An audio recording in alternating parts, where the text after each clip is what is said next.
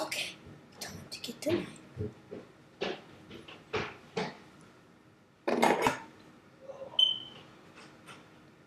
There.